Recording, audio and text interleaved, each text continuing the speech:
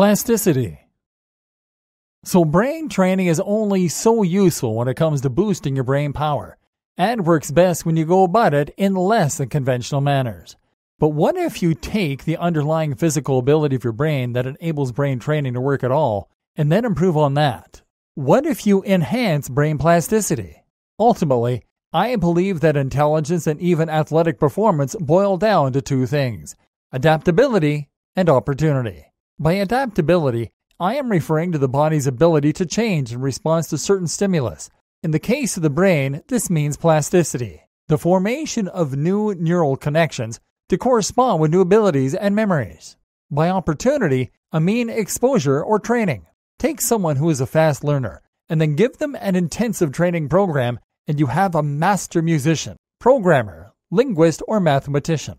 Likewise, if you take someone whose muscles respond well to training and give them the right weightlifting protocol, they will stand a chance of becoming a professional bodybuilder. If the natural adaptability is missing, or the training program is wrong, though, the individual will never become world class. There's more to it, of course.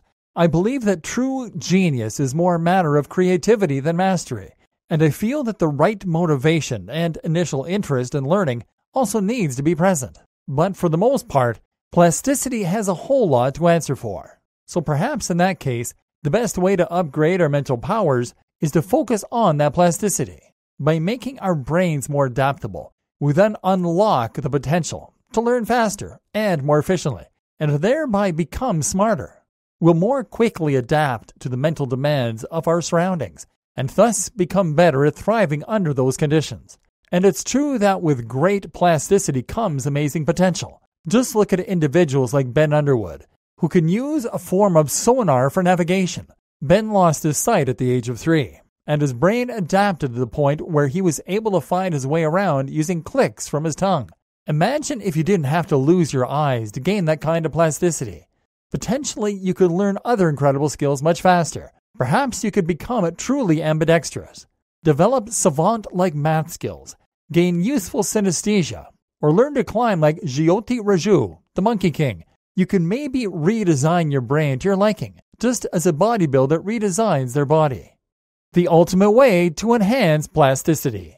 Before I get into the program and some new smaller tricks I've learned for enhancing plasticity, I first want to discuss something pretty big. The reason our brains are so plastic during childhood. Many of us believe that our brains are most plastic when we are children, due to biological differences. It's as though our brains switch off their plasticity once we reach a certain age, and as such, we begin to find learning more difficult. You can't teach an old dog new tricks and all that. My argument, though, is that it seems more likely this correlation works the other way around. We stop learning, and thus our brains become less plastic. Studies show us that learning any new subject makes our brain more plastic.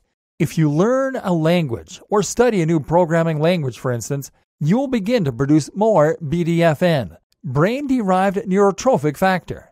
Now, think about what it's like to be a child. You're constantly flooded with new information and forced to learn everything. I'm not just talking about learning English, I'm talking about learning how to balance and walk, learning what a human is, learning that objects make sounds, learning to make use of all your senses in a cohesive manner. And the same thing happens to someone who loses their vision. They're plunged into a different kind of reality where new rules apply, reawakening some of that dormant neuroplasticity. You'll never be as plastic as you were as a child because you'll never be forced to deal with that much new information again. Although I do believe that it would be possible to come close with some kind of virtual reality program, virtual reality has the ability to subject us to entirely new realities, which could flood our senses with just as much novel stimuli as we experienced as infants. This is why I believe that virtual reality has a very important role for the future of brain training. Lawnmower Man was right. But in the meantime, what else can you do to promote plasticity? You will find that out in the following video. For more free educational content, visit learnforfree.biz. Content produced and distributed by AllSuperInfo.